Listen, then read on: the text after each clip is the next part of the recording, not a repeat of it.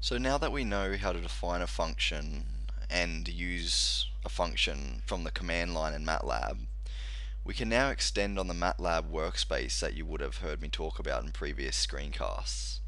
In particular, I would like to make some additional points on the private workspace of functions, um, as well as variable scope.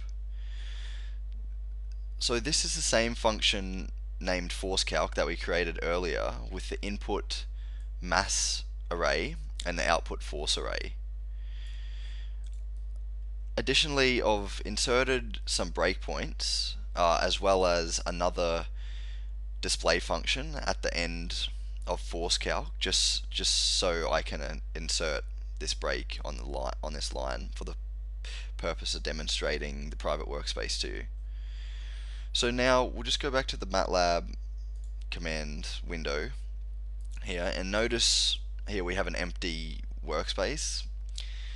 So we'll just dive straight into it. We'll just create uh, an array which will be used um, as inputs for our force calc.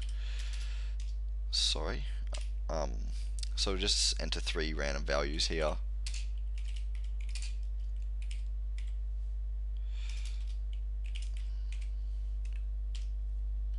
Okay.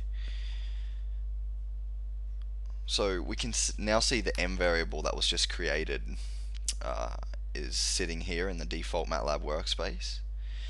Now I'll just, for the purpose of running the function, I'll just assign it, the, the output of our force calc function to a random variable f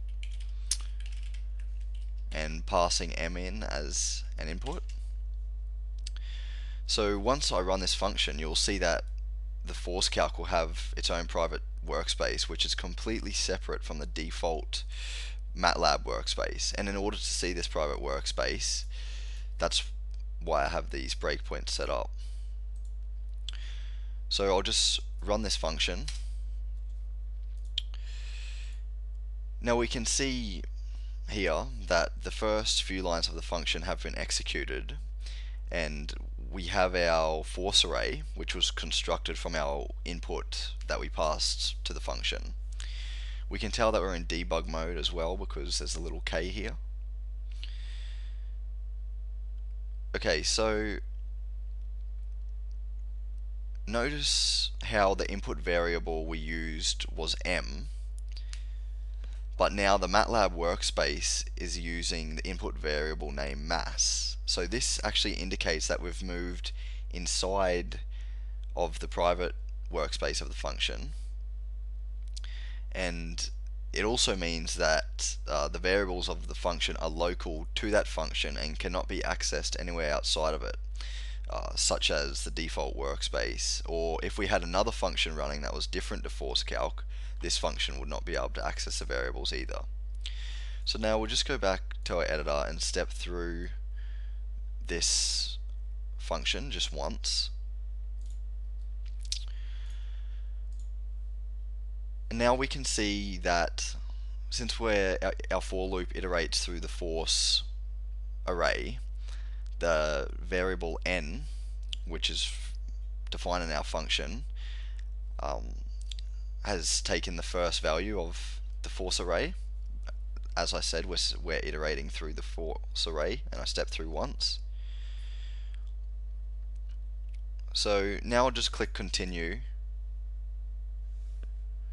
and the for loop has been has iterated through the force array and its associated code has been executed and now we've exited this loop and we're at the end of the function. So we'll just check our output.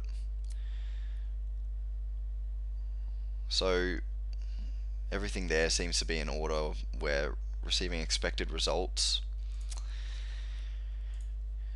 Um, so what we can expect is that now the function is finished, it has to go back to the workspace that called the function originally, and in this case is just the default MATLAB workspace as we called the function from the command line. So now if I just continue past this line, let's see what happens.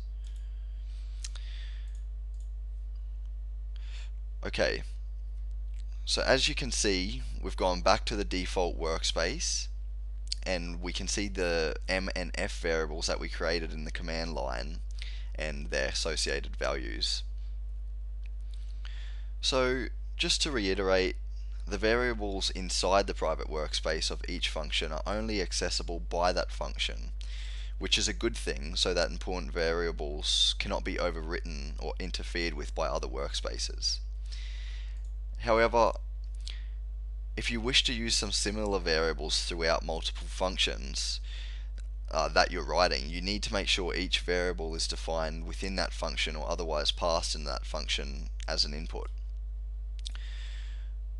So what I mean by this is if you wish to use a variable, uh, for example force, in a function, then this variable must be defined within that function because if it weren't defined in the private workspace of the function then it would not not exist and therefore MATLAB would produce an error if you were trying to execute that function.